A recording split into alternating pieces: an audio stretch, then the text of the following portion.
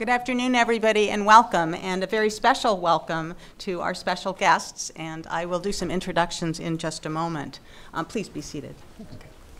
Um, I'm Susan Collins, the Joan and Sanford Weill Dean here at the Gerald R. Ford School of Public Policy, and it's really wonderful to see so many of you here for our special program this afternoon. Um, before we begin, I would like to acknowledge our co-sponsor, the Lieberthal Rogel Center for Chinese Studies and its director, Mary Gallagher. We're delighted to have you here with us, and I know there are a number of affiliates of the center who are here as well. Welcome. Our special guest today is the Lieberthal Rogel Center's distinguished visitor, Professor Justin Yifu Lin. Um, we're so pleased to have you here at the university and also to welcome you to the Ford School. It's great to have you here.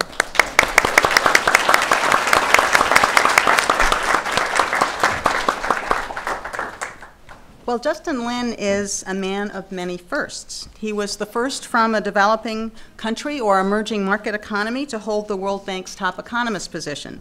He was also one of the first in his generation from the People's Republic of China to earn a PhD in economics from an American university. As a young man, he left Taiwan, his birthplace, to cast his lot with China, which was then on the brink of economic reform and modernization. The University of Chicago taught Justin Lin to approach economics with a scientific method and a focus on hypothesis testing rather than ideology. And when he returned to China, he brought this approach first to his teaching for many years at Peking University and later as a key advisor to the State Council, China's cabinet. He served as founding director to the very influential China Center for Economic Research, a top government think tank based at Peking University. And Robert Zoellick, in 2008, appointed him as the World Bank's chief economist. His tenure there advanced what he labeled the new structural economics, which was informed by very successful growth experiences in many Asian countries. And this approach really promotes economic growth through a portfolio of policy choices that combines a key role for markets in allocating scarce resources with a strategic targeting of government resources based on a country's comparative advantage.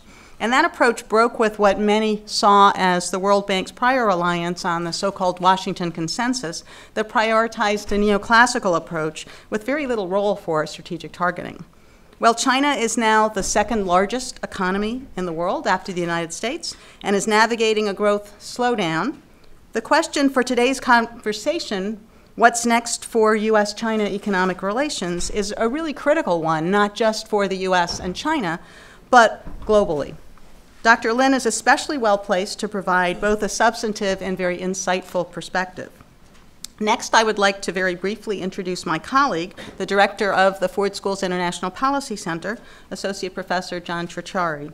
And I'll refer you to his bio in the program and simply say that it's because of his very deep expertise in a range of foreign policy issues that we have selected him as host for today's conversation.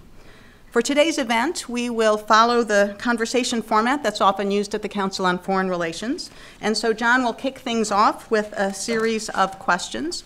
And after about 30 minutes of their conversation, he'll open up to questions from the audience. So beginning at around 4:40, members of our staff will be walking the aisles to collect question cards that you should have received when you came in. There's certainly an opportunity to get additional cards uh, if you would like them um, and Professor, Ford School Professor Ann Lin, together with Ford School students, Maisie Lee and Jennifer Chang, will facilitate the question and answer session. For those of you who are watching online, um, please send us your questions via Twitter using the hashtag PolicyTalks. And now please join me in a very warm welcome to Justin Lin and to John Ciorciari. The floor is yours. Thank you. Professor Lin, thank you so much for joining us at the Ford School. We're delighted to have you here today. And uh, as Dean Collins mentioned, I'd like to start off with some, some framing questions and conversation to get some of the key issues on the table. What I'd like to do is to start with a, soliciting a few of your thoughts on the general state of the Chinese and U.S. economies, and then talk a bit about some of the key areas in which they interact trade, currency, and uh, development policy or finance. Uh, and then, of course, we'll turn to what I'm sure will be a, a, a, good set of questions from the audience. So let's start with the state of the Chinese economy. After this remarkable prolonged period of growth, China's economy is still growing well at about 6.5%. Uh, but like all economies, it faces uh, challenges. uh, which has led some analysts to predict a hard landing.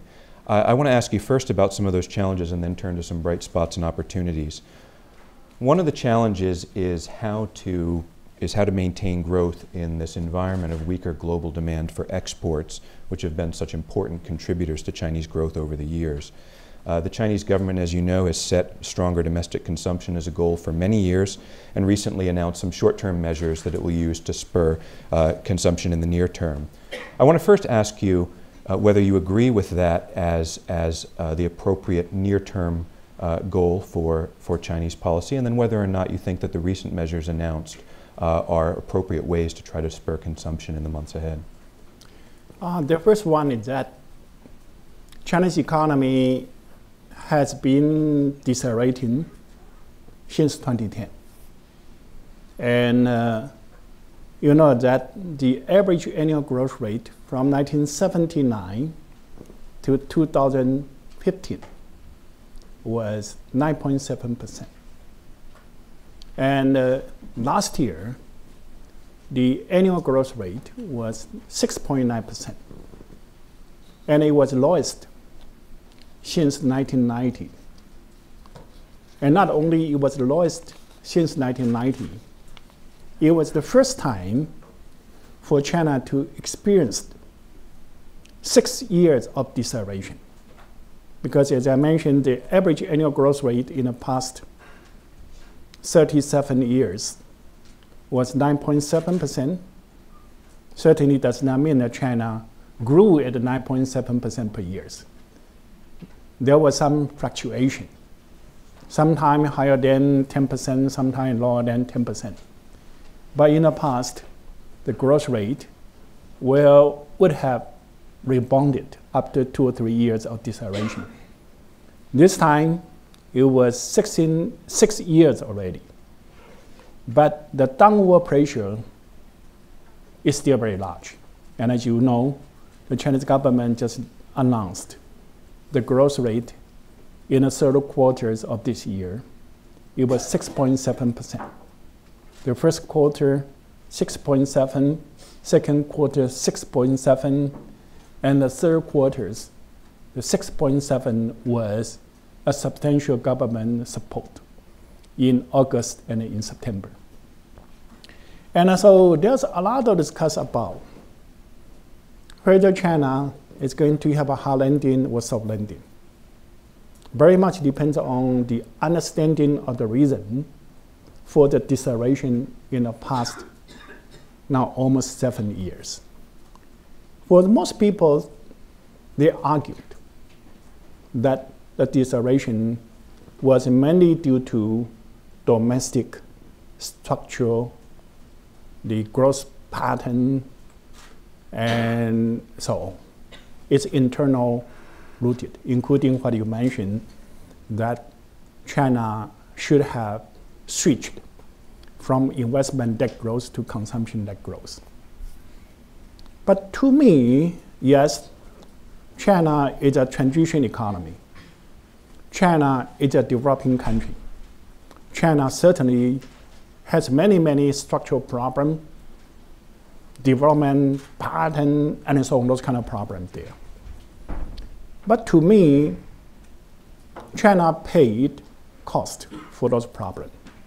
However, the main reason for this deceleration is external and cyclical.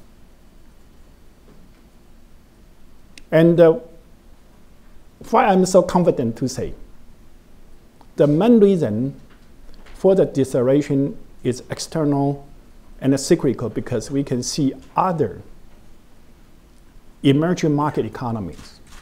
They are at the same stage of development as China. They also have a similar pattern of deceleration. And their deceleration is even sharper than China. For example, 2010, the growth rate in China was 10.6%. 2015, 6.9%. But for Brazil, 2010, the growth rate was 7.5%. and 2015, negative 3.8%. For Russia, 2010, 4.5%, 2015, negative 3.7%. Similar deceleration and much sharper than China. India, 2010, its growth rate was 10.3%, China 10.6%. 2015, 7.6%, seemed to be higher than China, but the pattern was similar, deceleration.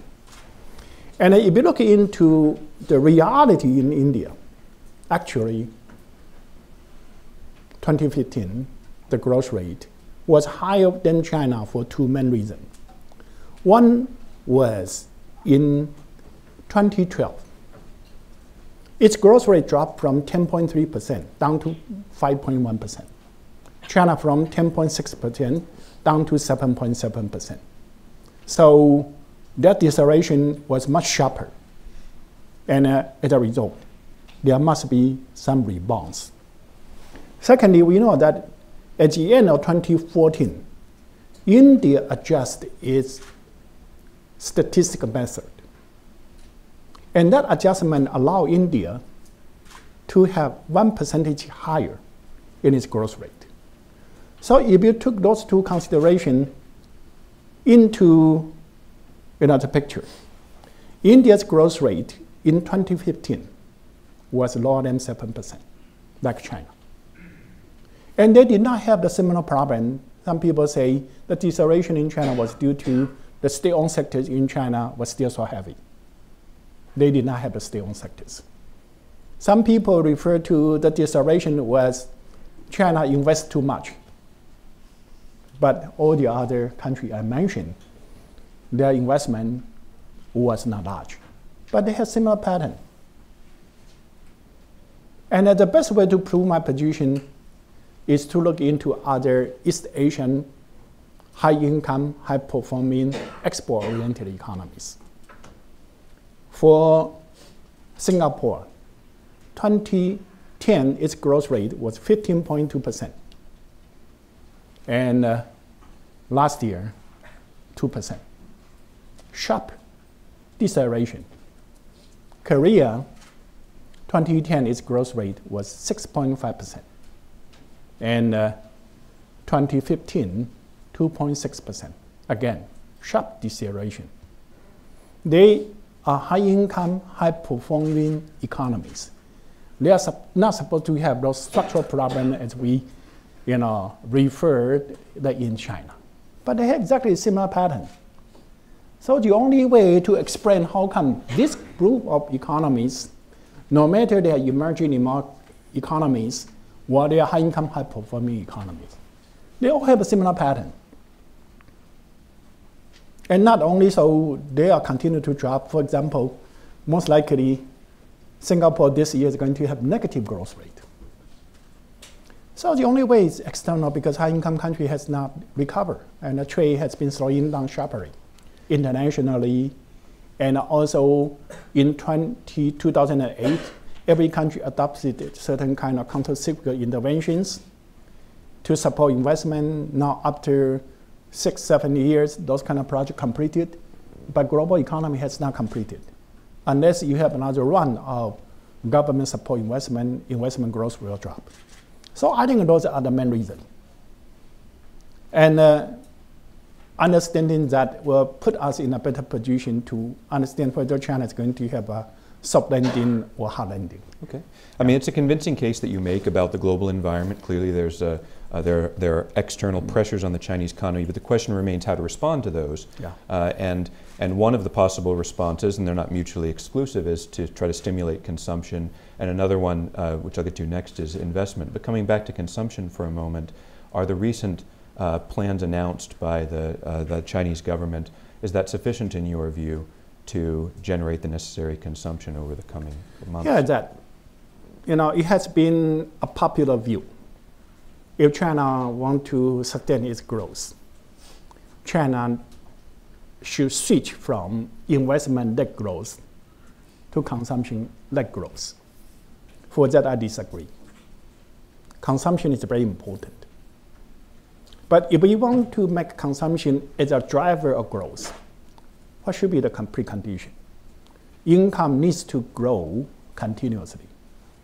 If household income does not grow and only household consumption increase, what would be the result?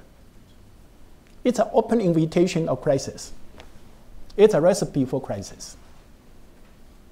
And under the kind of situation, certainly increase in, in, in consumption is desirable, but we need to increase household income first.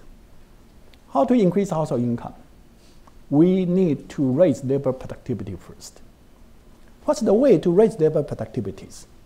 We need to have a technological innovation in the existing industries. We need to have industrial upgrading so we can relocate resources from low value added sector to high value added sectors. Both technological innovation and industrial upgrading require investment. Not only in the production sectors, we need to reduce the transaction cost during the process of economic development, and mainly related to the infrastructure. So we also need to make investment in infrastructure. All those things require investment. Only by investment, you can ensure labor productivity continue to grow. And with the growth of labor productivities, certainly household income will increase, consumption will increase. Many people criticize that investment in China has been too high, but they forget household consumption in China has been increasing rapidly. Each year, around 8%. And especially during those years with high investment, the household consumption increased even further, you know, from 8% to 9% to 10%. So I don't think that, you know, investment is an issue. I think the issue is whether we can have good investment in area which I described. Technological innovation, industrial upgrading, further improvement in infrastructure. And for me, China still have plenty of opportunity for making those kind of investment. Fundamentally, China is a developing country. The sector that China currently occupies in general are low value added, middle range technology, middle range value added. China can still do industrial upgrading. China can still do infrastructure investment. And those kind of investment will generate job, income to the households, support their you know, consumption growth. So I think that the issue is not investment that grows. The issue is whether China has good investment opportunity. And from my study, China still has plenty room for good investment opportunities. Yeah, you've anticipated my next question, which is how to make that high level of, especially government investment, effective. Mm. Uh, and Related to that, a number of by a number of metrics, China's investment uh, has been less efficient in recent years than it had been in the past, and that may be a natural uh, uh, process in the course yeah. of development. But I wonder if, in addition to, to sharing with us the ideas that you just did on what are some opportunities for productive investment, yeah. are there reforms that you think need to be made to make some of the existing investments more effective in the SOEs, okay. in the so-called old economy, and so forth? I think that here that there are some empirical studies to show the return to investment in China has been slowing down. And uh, people think it's alarming. And uh, for me, those kind of studies did not you know, put the cyclical business cycle into the consideration. Because now we are in the global business cycle. And uh, certainly because of the demand globally reduced. And uh, certainly you have some kind of excess capacity in the economy. And under that kind of situation, with excess capacity, private sector's investments incentive has been replaced. And under this kind of situation, it should be a good opportunity for the government to make investment in infrastructure. And uh, to make investment in the infrastructure, you know, first, especially for a developing country like China, there's still bottleneck in infrastructure, in environment protection, those kind of investment can release the bottleneck of the growth. And so, and especially those, kind of investment in general, private sectors would not have incentive to make. And so the government should be responsible for the infrastructure for the environment. And if the government should be responsible for that, what would be the best time to make those kind of investment? Under the downturn in the business cycle would be the best time. The reason to make investment in a downturn is because, first, it's create job, reduce the need for unemployment benefit, and the opportunity cost of making those kind of investment will be lower. Secondly, the raw material, the construction material during the downturn will be cheaper. And so you make those kind of investment, the best time is to do the investment during, you know, sometime like now. But those kind of investment in general are long term. And uh, by definition, their return will be lower. If their return is not lower, private sector will do that already. And so if it's a government responsibility and the return will be lower, and uh, even statistics show the return to investment is lower but it's best time to do it. And, and, and, and, and so if we understand this dynamics, to stimulate private sector investment, the most important thing is to increase the confidence of the private sector for the future of the Chinese economy. For the private, for the private sector, whether they are going to make investment or not, very much depends on their prospect of the futures. And that's the reason why I start with my intervention to understand what is the cause for the slowing down in the Chinese economy. Because if you think the slowing down in the Chinese economy is mainly internal structure, then you got to be very pessimistic. Because to make adjustment in the economic structure, it's very difficult. Everyone understands U.S economy need to have structural reform. European economy has to structural reform. Now it has been eight years. Structural reform has not been in place. Japan, you know, everyone knows they need to have a structural reform. So Abe, you know, after he took office, he wanted to carry out structural reform. And also Abe has, Abenomics had three arrows and the last one is related to the structural reform, but it has not been implemented yet. And so if you think the slowing down is mainly structural, then you get to be very pessimistic. And if people about think that it's structural, they are pessimistic, they are not going to make investment. So it's very important to understand the true causes. Understand, yes, we have some structural problem, but the main reason for the deceleration is cyclical. And cyclical, the government need to have interventions.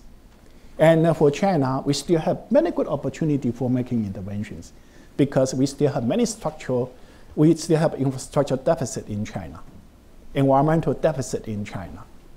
And those are good investment opportunity. It has, those kind of investment will have high economic return and social return. And China is still in a very good position to make those kind of investment because government debt as a percentage of GDP is only 57%. And the Chinese debt, actually the net is much lower than that. Because in other countries, the government debt was used to support consumption. In China, the government debt were used to make investment. So there's a real asset. Net debt is much lower than that. And so that gives the opportunity for China to expand its debt to support the investment. And as long as we support the investment, then the economic growth will be maintained. And if the government, you know, the economic growth rate maintained, the private sector has a lot of business opportunity there. They will have more confidence.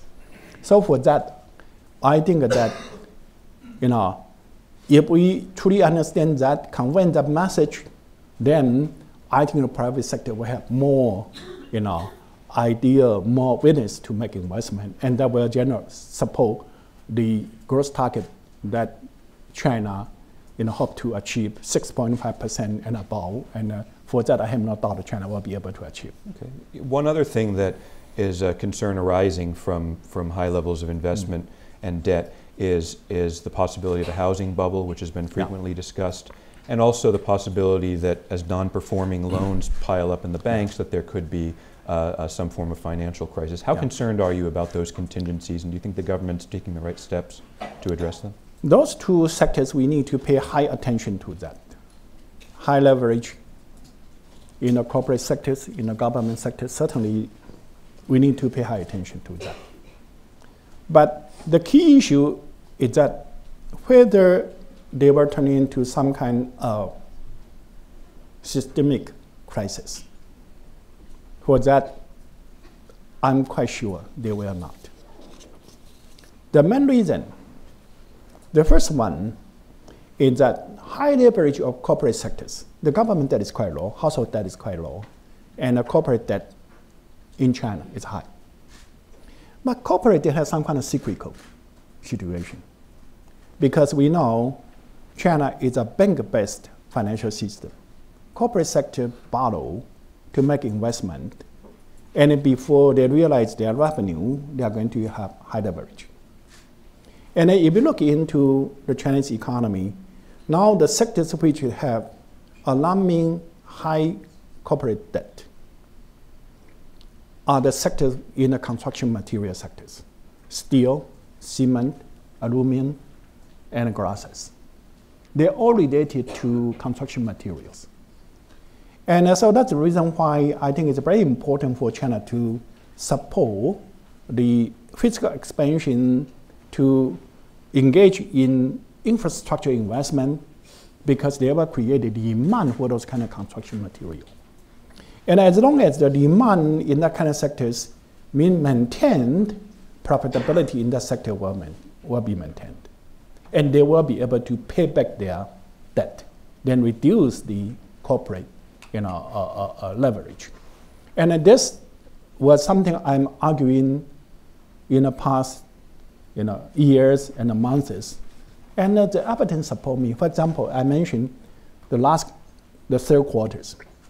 In July, the investment reduced a lot. So people talk a lot about excess capacity, high corporate leverage. And the government you know, increased its investment in August and September. Immediately, the excess capacity situation turning into shortage. And, and the prices of you know, cement, steel, and coal increase. And they, they become profitable. Once they become profitable, they pay back their debt, right? So, so that's some sectors that we need to pay attention to. But as long as we maintain reasonable high growth rate, then they will be able to repay the debt and they will not turn into a crisis. That's one thing. And secondly, it will not be a crisis is bec- also because all the debts are in Chinese currencies. As long as it's in Chinese currencies, even some bank may have some problem, but the government can easily come to rescue, right? And so the government will have the ability to meet this kind of sporadic challenges in certain areas, even that kind of situation occur. And I think most likely they will not occur. And, and, and so for this area, we need to pay attention to, but it's not you know, so scary as some people describe. That is for the corporate debt. Then the housing bubble and so for that is that. To me, housing sectors, real estate sectors, will continue to be the pillar industry in China for two reasons. The urbanization rate in China today is 56% of the population. To become a high income country, in general, the urbanization rate will exceed 80%. So China is still in the urbanization process. People will continue to move from rural areas to urban areas. As long as they move to the urban area, they need to have housing. And so we are going to have a continued housing construction. Secondly, income in China still increase very rapidly because even China maintains 6.5% growth rate, population growth rate in China is only half a percent.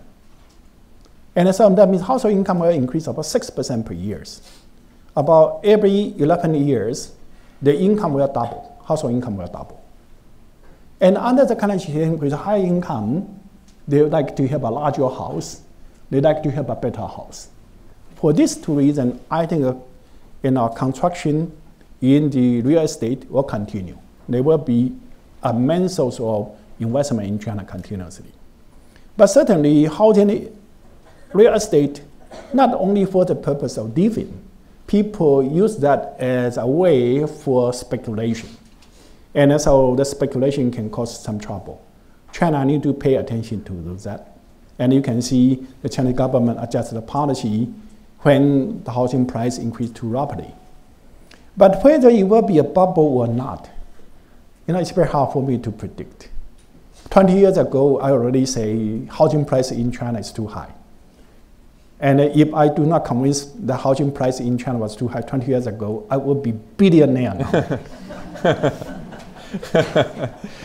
well, you, have shared a number of, of, thoughts on, on challenges Chinese, China's economy is facing uh, and, and also some opportunities and ways the government can manage it. I'd like to turn very briefly uh, to the U.S. and ask you a similar question of what you see as sort of the principal near-term vulnerabilities in the U.S. market that are of concern to China, and then in the sort of medium term, what are a couple of the key structural barriers that you see to, to sustained U.S. economic yeah. growth?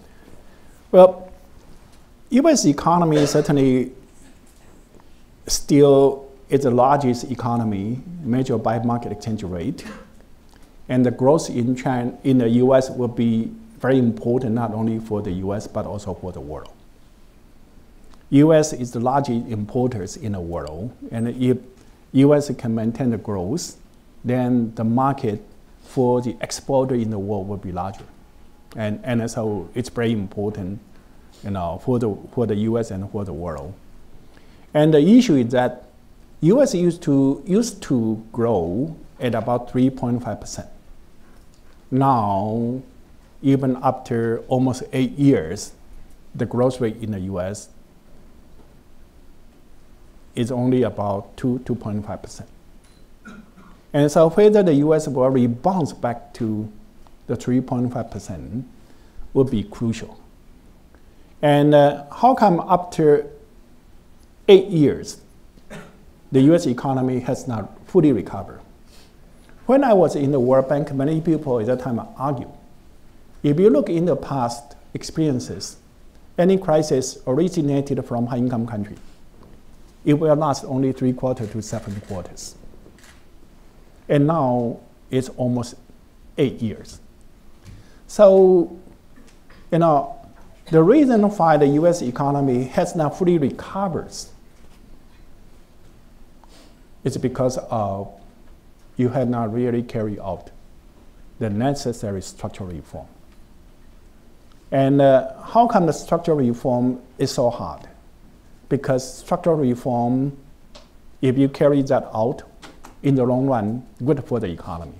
Increase your competitiveness, increase your resilience, that certainly should be good. But in the short run, in general, structural reforms are contractionary. And it will put down the economic growth rate, it will raise the unemployment rate, and politically it's very hard to carry out. But is there a way to carry out a structural reform? If you look into the financial crisis in other countries in the world in the past, because in the past, mostly the crisis occur in developing country, and then when they have the crisis, they come to the IMF for rescue, and the IMF would recommend three policies the first one, structural reform. With the understanding structural reform is contractionary and you already have very high employment rate, how to carry out that. The second one is sharp devaluation of the currency to increase the export. And the export increase will create a job, offset the contraction of the structural reform, and uh, so they can carry out a structural reform to create a room for structural reform. And the third policy certainly to give some kind of fund to weather through the period. But this time, it's hard to use devaluation as a way to create a space for structural reform because the crisis hit all the high-income countries. And the high-income country, they are in a similar stage of development. Their production structure are similar. Their export markets are competing with each other. And under this kind of situation, if US you want to use devaluation to create a space for structural reform, you're going to have competitive valuation in Eurozone, in Japan, or the Eurozone want to have a, you know, devaluation as a way to compete, to, to create a space for structural reform, US will have a competitive devaluation. So we are in a deadlock. And under this kind of situation, we need to have a vision, we need to have a new innovative way to make the structural reform in a high-income country feasible. And, uh, and uh, that requires political leadership, require vision. And uh, if we do not have those kind of vision and political leadership, I'm afraid. the scenario in Japan could be a scenario in the US. It's not good for the US. It's not good for the rest of the world. I want to tease out a little bit of your argument. When you were characterizing the causes for, for China's slower growth, you emphasized the external pressures on the economy, yeah. but with the U.S. emphasizing sort of shortcomings in domestic structural reform. Yeah. To, what, to what extent do you think that, that external uh, factors are also responsible for the slowdown in U.S. growth? Well, certainly we are in a vicious cycle, right? When, because the crisis started in the U.S., in the high-income countries, the slowdown started to happen in the high-income country. And so the expo that was hit. And a high-income country has not fully recovered. So the growth of expo in the rest of the world were suffering. We know that before 2008, the global, the trade growth was more than twice as high as the GDP growth in the world. But after 2008, now, first, the real GDP growth rate has been reduced. But the trade growth now is lower than the GDP growth. For example, beginning of this year, WTO predict this year trade growth will be about 2.8%. But now they downward revise that to 1.7% sharply reduction in the trade. And certainly, you know, the, the, the, the, the, the, the income in high-income country has not recovered, contribute to the reduction in the export from the developing world. And because the reduction of the export in the developing world, their growth rate dropped, and that reduced their demand for import from high-income countries. So we are in some kind of vicious circle. But if you try to trace what would be the roots, because that we know developing country recovered quite well after 2008 and 9. After 2009, most developing country has recovered to their pre-crisis growth. But because high-income country has not recovered, and uh, the trade growth has been substantially reduced, and that was the main reason for the developing country to be unable to maintain their growth dynamic, uh, uh, uh, momentum.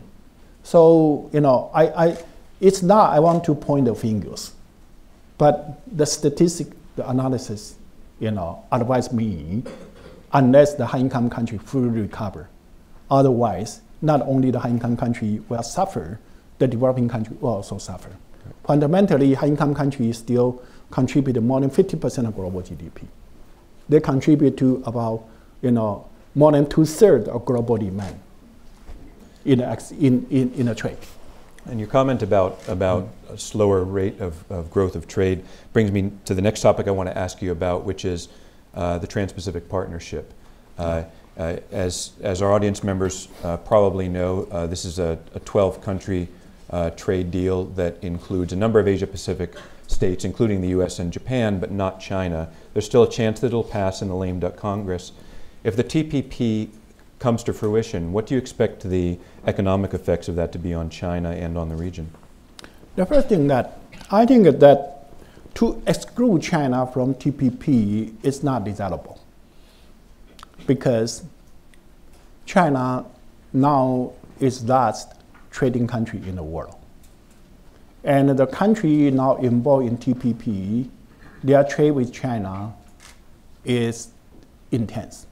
China is either the largest trading partner or the second largest trading partner of those member countries in the TPP negotiation. And we know the idea of TPP is to you know, improve the quality of trade and investment. Those certainly are desirable. But if you exclude China from that, and China is the largest trading country in the world and large, the most important trading partner with all the members, you excluding the elephant in the room. And uh, so under that kind of situation, I don't think that this uh, economically it's you know, it's advisable. It's, you know, good. Not only it's not good for China, it's not good for all the partners. That's one thing. But secondly, supposedly, this TPP agreement get approved in the Congress in every country. Is that going to hurt China so much? I think mostly psychologically than reality. Because if you look into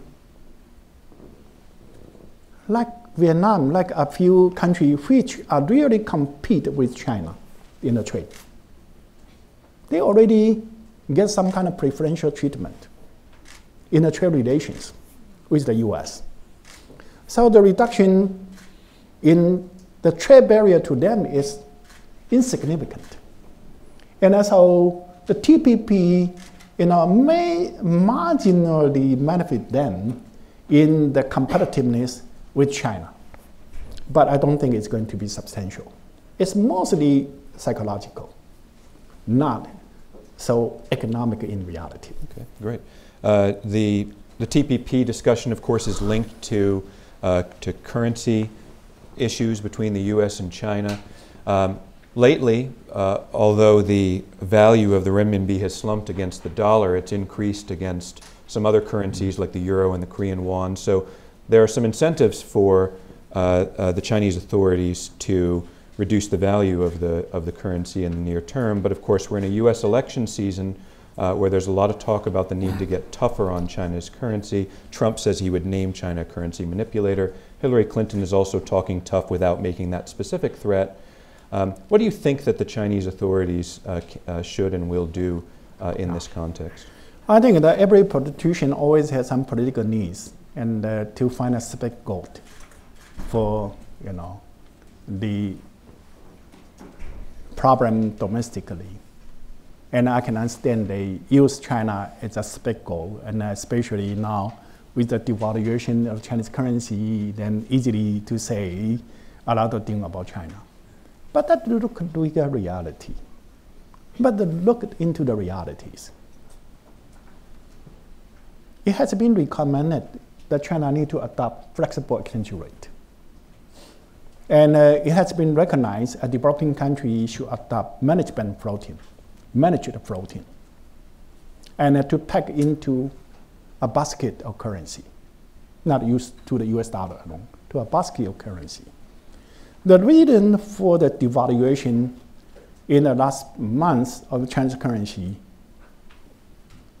is, man, it's because of a sharp devaluation of British pound, of the euro, or Japanese yen.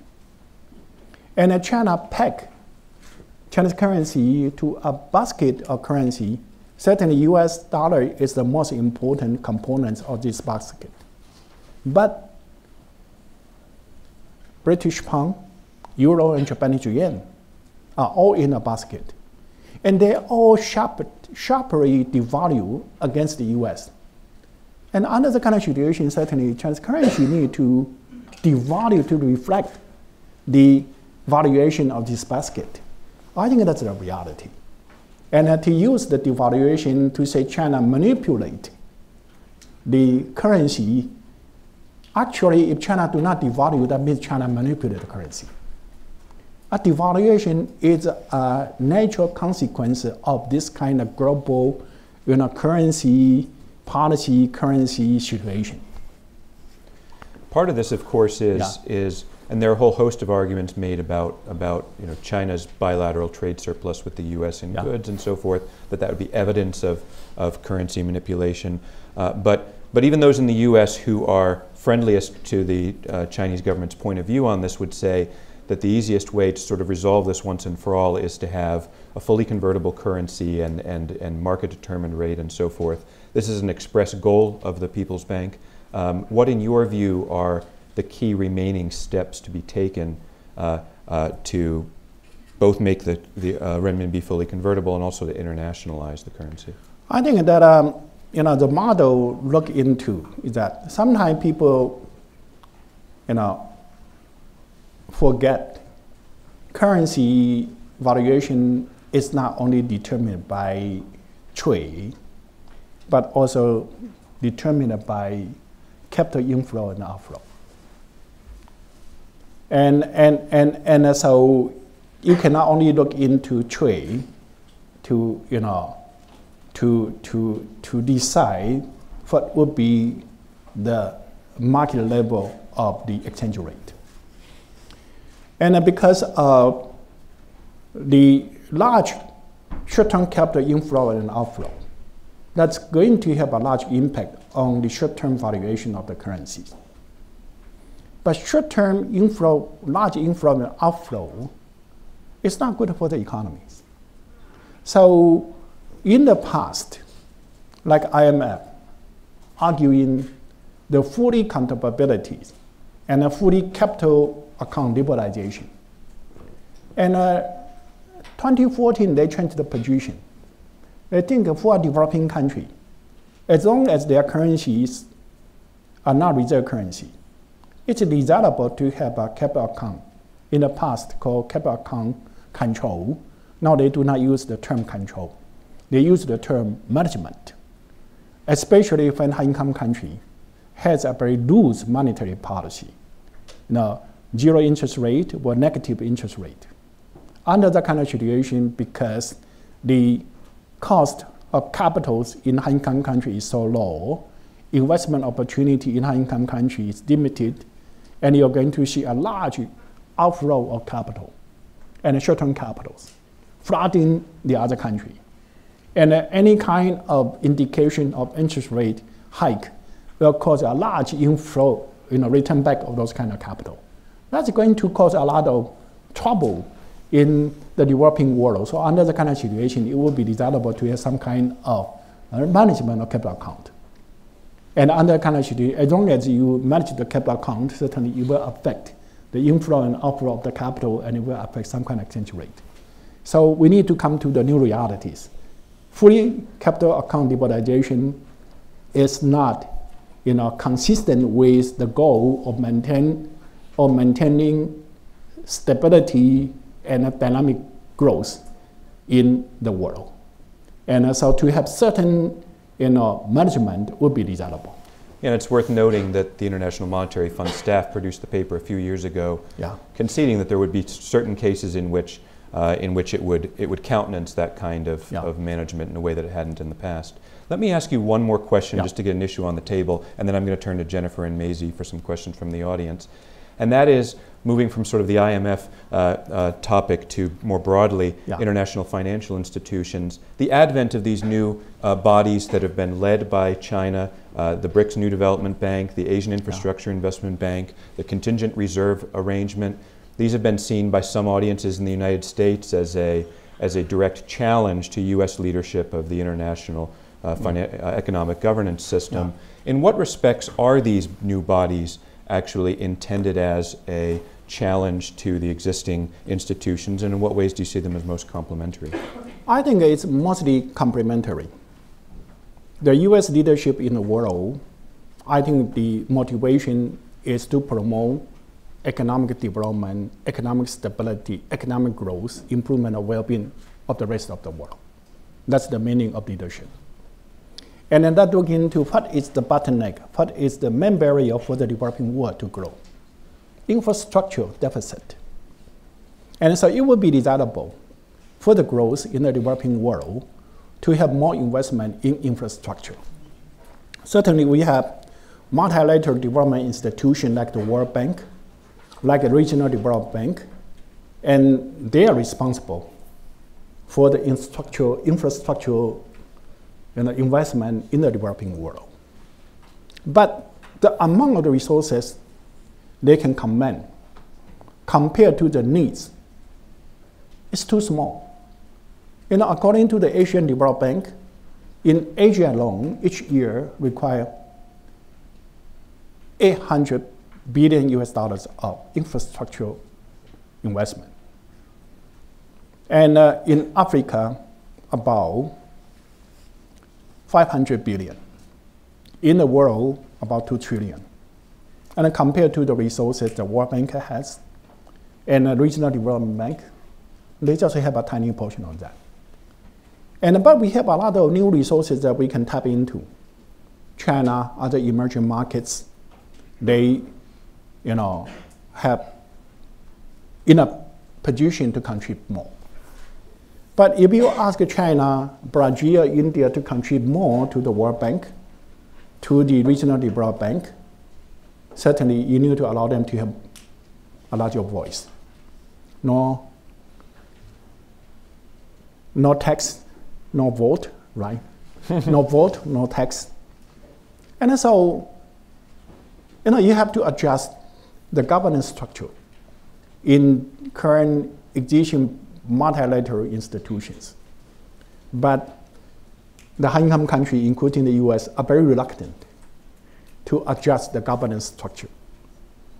And so, with the principle of no vote, no tax, then it's very hard to convince China and other developing countries to contribute more. But we have a huge needs in the developing world. So under that kind of situation, if we have a new institution which allow to China more resources, that would be desirable. That's one thing from the resources point of view. The second one, there's some competition is always desirable because now the multilateral institutions, in effect, they are very inefficient. For example, they all have the residence board. We have many people from the corporate. If your boss is resident, overwatch you on a daily basis. It's hard to manage, operate in that kind of situation. So you should allow some new governance, new ways, and uh, to compete. Another kind of situation, the efficiency of every institution can be improved. So from those kind of angles or point of view, if we really worry, if we really concerned about the global growth, the global well-being, then the new institution like AIIB and a new development bank should be welcomed. Thank you. Jennifer and Maisie.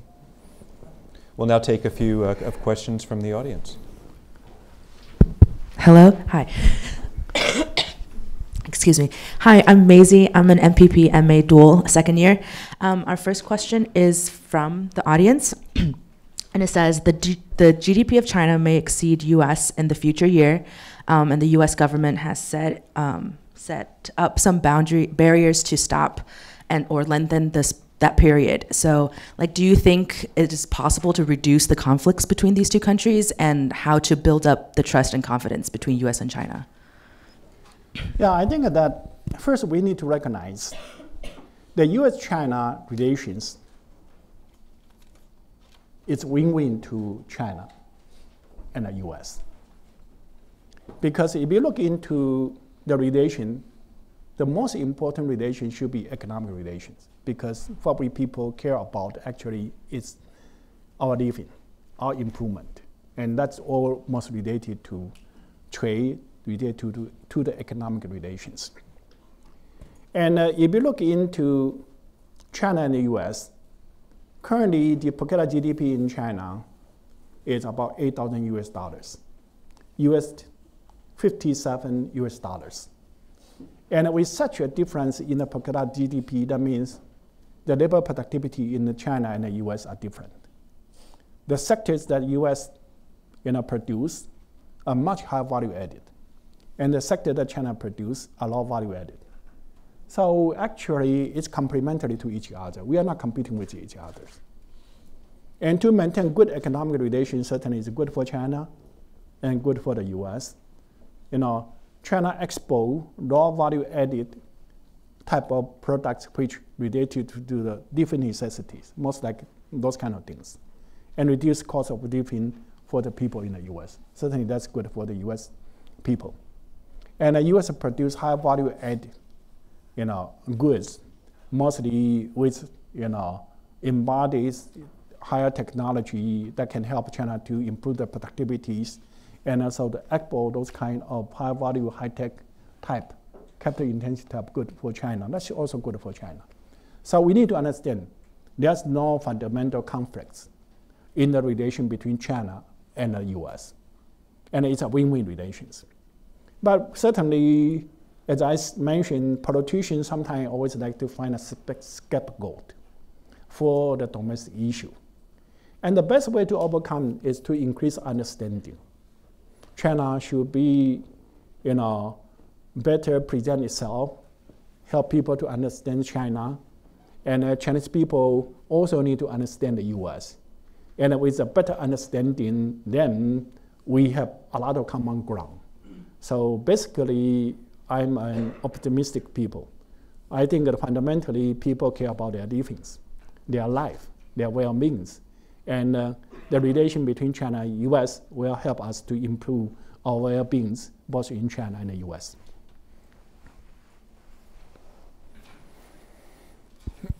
Hi, my name is. Oh.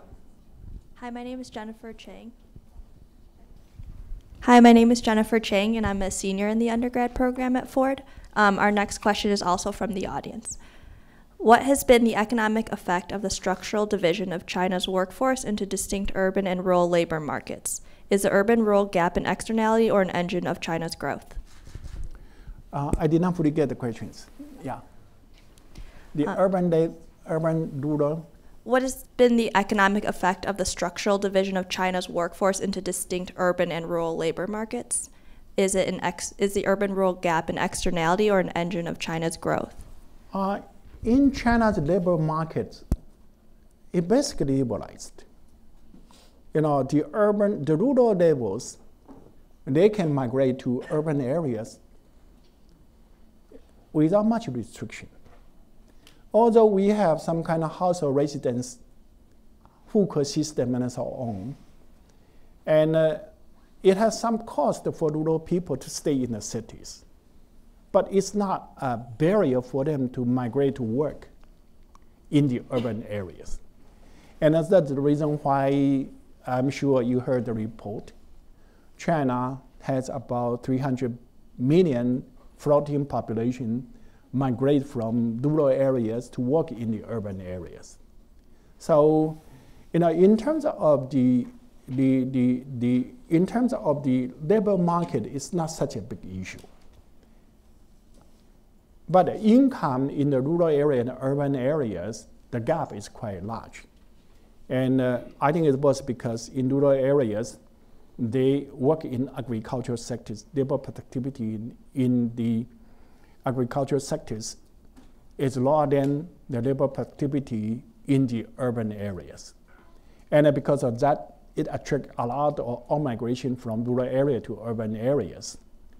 And under the kind of situation, I think the government should be responsible to provide more support to the social protection and, and also social benefit to the people left behind in rural areas in order to reduce the urban-rural divide.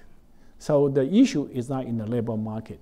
The issue is in the disparity of income and the disparity in the public services in urban area and rural areas.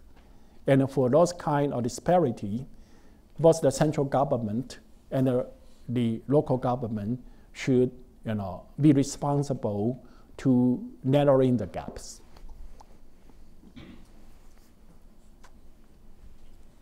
Okay. Um, okay, the next question um, is about your opinion of the degree to which military development in the South China Sea um, and is that a, an economic negotiating tool? Like, what are your thoughts on that? The South China Sea issues, yeah, certainly it's a hot topic. I think that uh, Deng Xiaoping has the best approach to the issue.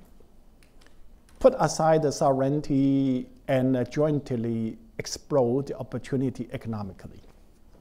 Because the sovereignty issue is hard to argue because China can have a lot of his evidence, his historical claim, historical evidence to show China has some kind of ownership in the South China Seas, islands, and so on.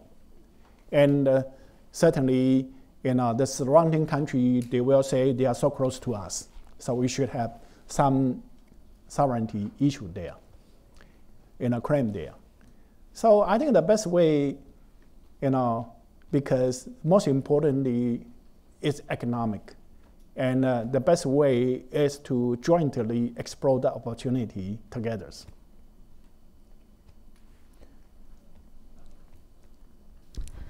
While government investment is efficient in promoting productivity, it creates great uncertainty and transa- transaction costs for private sectors as private firms may find it hard to anticipate government decisions. What do you think about this cost of government uh, led investment?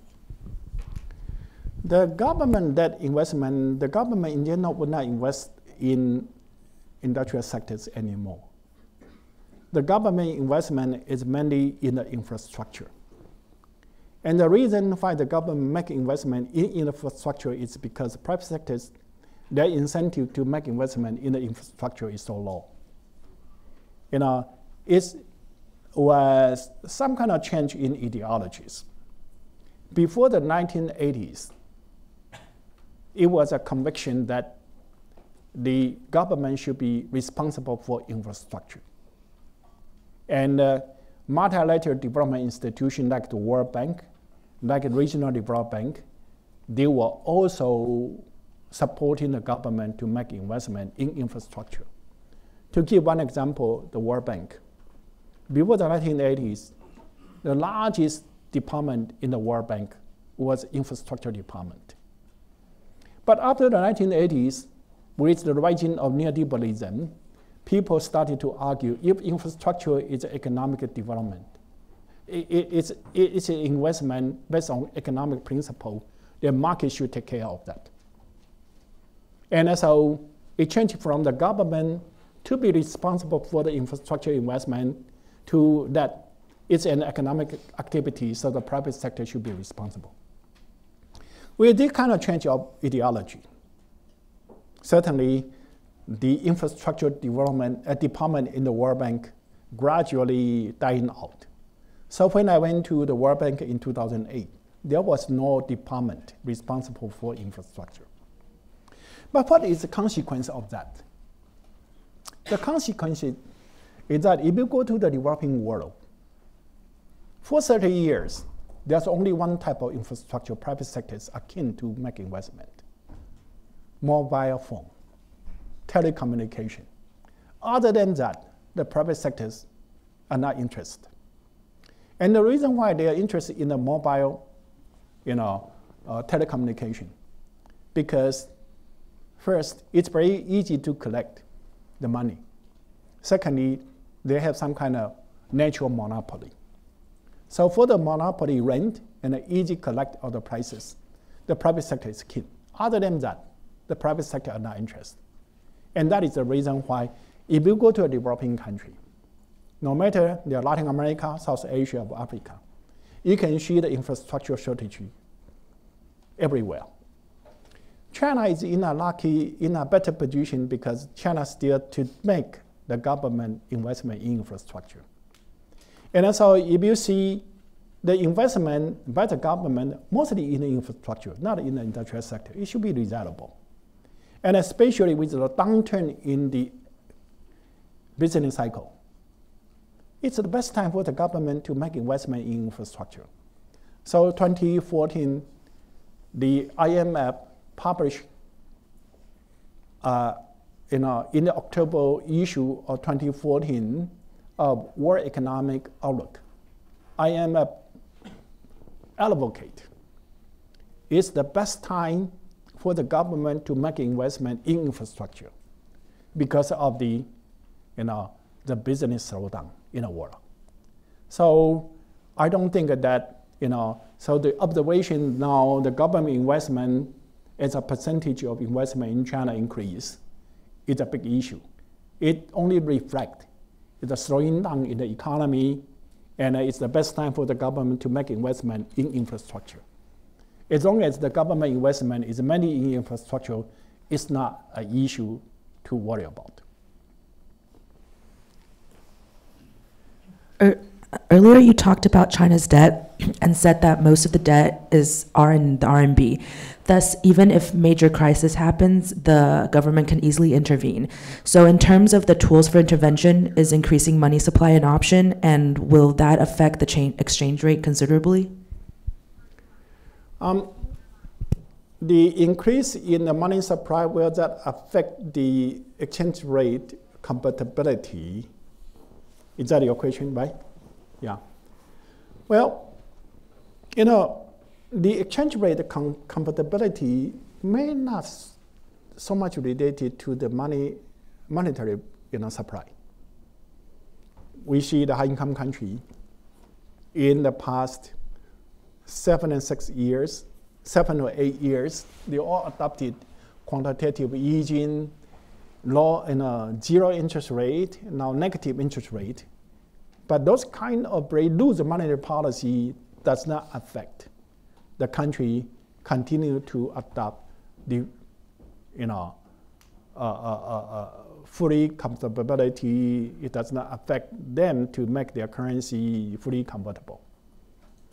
I think the consideration should be more whether China, you know, should adopt fully compatibility. I think mainly related to whether Chinese yuan will become a reserve currency or not. And secondly, also very much depends on whether the financial sector in China is well developed. I think that if financial sector in China is well developed, and uh, with the gradual internationalization of Chinese currency, Chinese yuan become one of the major reserve currency, then that will be a good time for China to make the currency fully convertible. May I ask a quick follow-up on that? If you could share with the audience a couple of specifics of the kinds of things that you, uh, that you mean by having the financial market be, be well developed. Well, the financial market well developed means the equity markets is further you know, deepened, further enlarged. The debt market, the corporate debt, the government debt markets is large enough and well functioning. And this kind of development also depends on the stage of development. Because the financial structure actually should reflect the economic structure. Because the main purpose of finance is to support, to serve the real sectors. And the real sector in China is that China currently with a per capita income or per capita GDP of 8,000 US dollars, most of the production activity in China today are still in agricultural sectors and in small and medium-sized enterprises in manufacturing and services. And, uh, and in general, they are still in mostly traditional sectors. And for them, the best way to serve them is banking and a bank arrangement instead of equity market or debt market. And because of that, the financial sectors in China cannot be as well developed as high-income country like U.S., like European country, because in high-income countries, the main production are in the sectors of capital-intensive, technology-intensive sectors, and for them, they need to, you know, they are riskier, and the best way to serve them would be the equity markets. And also, you know, those kind of large companies, corporate sectors, they're large companies, they are better structured and they can use that to serve them also. And also the government with high income, the government debt market will be larger. So those kind of the depths of the financial structure very much reflect the stage of development. And China has not reached that stage yet. And uh, in 2000, after finishing my job, in 2012, I published a book called Against the Consensus. And for that, I have uh, several chapters to discuss. The global you know, financial arrangement, global monetary arrangement, and that discuss a lot of the issue you know, related to what you ask, whether China can have a fully developed uh, uh, uh, financial sectors, whether currency can really become uh, global reserve currencies, and I think that China is not ready yet.